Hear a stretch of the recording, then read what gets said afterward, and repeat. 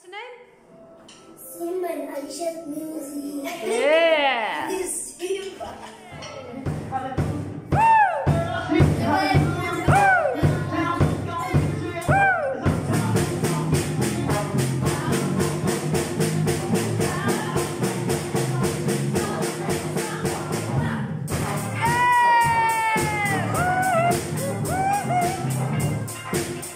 this